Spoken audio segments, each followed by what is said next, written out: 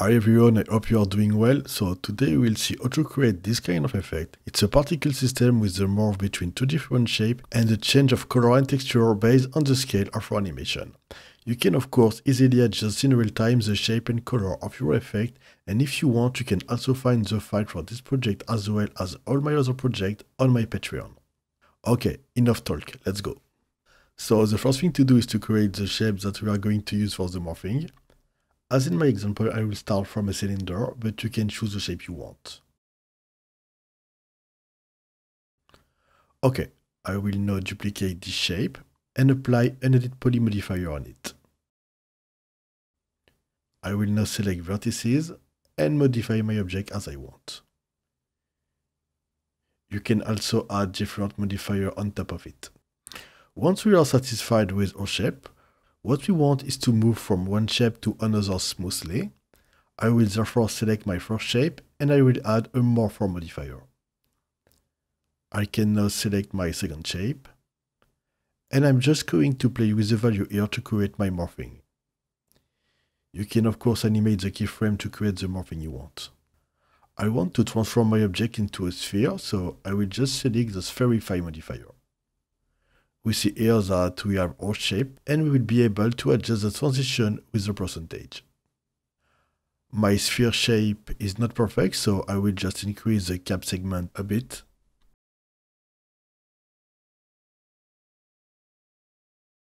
I will now go to frame 0 and set my percent to 0. Go to frame 50. Put a value of 100 and return to 0 from frame 30. Perfect. Okay, I will just change my range to see my looping animation. Okay, it's cool. But it's not really perfect. I want for the sphere shape to stay longer. For this, I will open a track view, graph editor, track view, and here in the Spherify tab, we can see the curve of my animation. I will now select the N keyframe and switch them to linear mode. I zoom in a bit and I'm going to adjust the curve in the middle. I hold the control key on my keyboard and I will stretch the curve on both sides. We see that we have a curve that goes quickly to the middle key and which goes down at the end of the animation. We can now see what it looks like on our animation. It's perfect.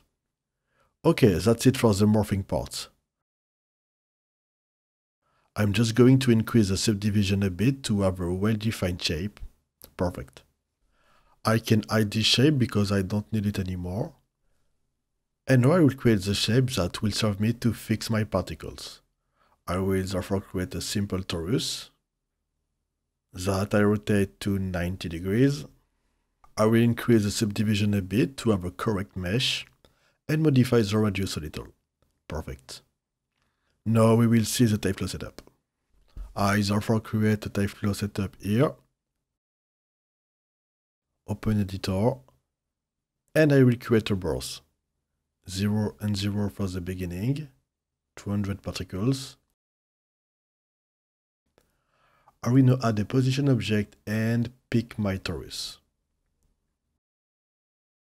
I also select geometry for the display, but we see that nothing appears. It's because I have to create a shape. Then shape. I delete this element and I will now add the cylinder that I created previously. I will now enable the size and lower the scale a bit, maybe 40. I can add a rotation operator and the spin to activate the movement. And now what we want is this physical simulation, so I will add a physics shape.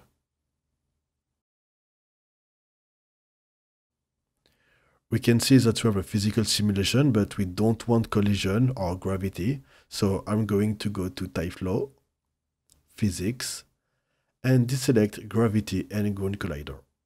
I will also increase the substep of my simulation to have something correct. And if I run my simulation, we see that everything explodes. So to fix that, I will create a find target. I select my torus to tell my particle to search for this shape. we see that the particle always collide with each other, so I go back to my physics shape operator and I'm going to set the restitution and the friction to zero. Perfect. I'm also going to increase my spin a bit to get more movement. And we can see that we have a very good simulation. What I want now is to activate my particle progressively for my morphing. So I will create a box and I will animate this box from the top to the bottom of my simulation with two keyframes. Like that. Maybe more on 60 frames. And I think it's good like this. I return to Tyflow and I will now create a surface test. I will now copy the physics shape into a new event. Same for the spin and the shape link this event to the surface test, change the color of the display for better visibility, and in this surface test I will pick my activation box. Perfect. We can see with the change that the activation works. Now what we want is to change our shape into a sphere in this movement. So I go to shape and I activate animated geometry. The values are good so I don't change anything here. I disable the loop, of course, and I add a little bit of random offset and variation, very light. We can now see what it looks like in our animation. It's really good. It's a really cool first look. Okay, now what we want is for my sphere to grow during the transition. I will therefore add a scale operator. Change the mode to relative multiply and up the value maybe 105. We can see that we have a big continuous inflation during the animation and what we want is to return to the initial position. We will therefore have to save and find our original scale. So I will add the custom properties rename it, scale origin, and save the scale in custom vector. Scale origin to for my channel name, and I will now duplicate this operator in the second event. I want this operator not to activate instantly, but after maybe 10 frame. So I will therefore go to filter, enable, add, and change the property to event age. Greater, of course, and I will set a value of 10 for 10 frames. I can now go to Operation and select Get. I obviously pass the timing in continuous. And if I run my animation, we can see that after 10 frames, the scale returns to its initial value. It's nice, but we see that the transition is still very aggressive and we want something smoother. So I'm going to go in the custom vector and decrease the interpolation. Maybe 0.3. And if I restart the animation, we can see that it's much better like that. Beautiful and smooth. Okay, it's really cool. Okay, now that we are satisfied with our animation, what we want is to apply a transition in our texture. I will therefore create another custom properties, rename it, scale magnitude,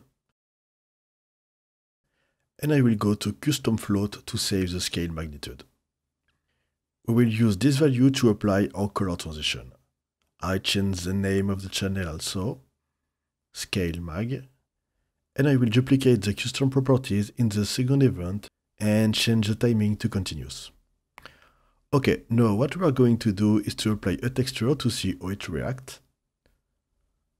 I have here a V-Ray material and I will create a gradient ramp for my diffuse. And I can now apply this texture to my Tyflow setup. Okay, we see that it's really not good because we don't have mapping information in Tyflow. I will now create a mapping operator. select Mapping from Custom Float, and the Scale Mag channel. We can adjust the gradient a little to have a stronger right. I will now go to a frame where we have morphing to be able to see the change in live. And I will duplicate this mapping operator in the second event. Timing to continuous. And we are starting to see the change.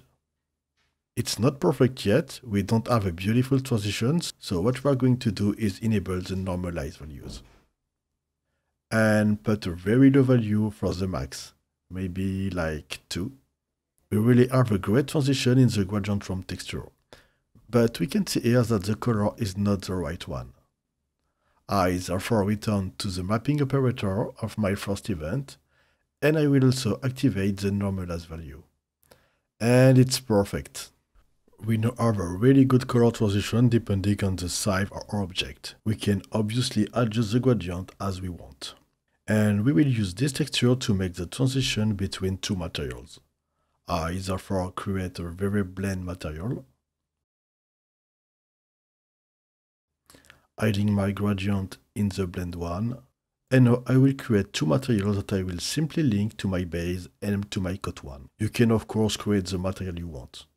I then apply the VB blend to my Tyflow setup. And I don't forget to create a mesh operator for my two event, otherwise I wouldn't see anything in my rendering. And now I can start my rendering. I will add a light to better see what I've created. And we can see a Tyflow simulation with a morph between two shapes and at the same time a variation in color and texture. It's really cool. It's of course up to you to see the texture you want to apply, but you have the basis for creating shape and texture morph with Tyflow. Okay guys, it's over for this tutorial. I hope you've learned a lot of things. Don't forget to subscribe and the thumb up if you like my work. And you can of course follow me on Instagram, Behance, and you can find this project and a lot more on my Patreon. See you soon for next tutorial guys. Bye.